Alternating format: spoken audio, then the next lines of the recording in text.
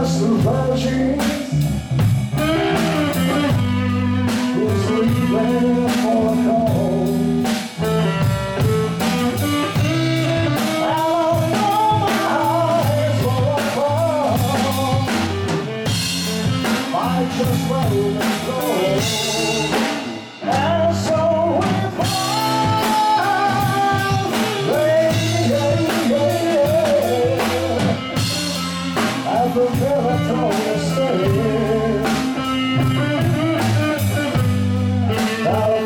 the precious ghost.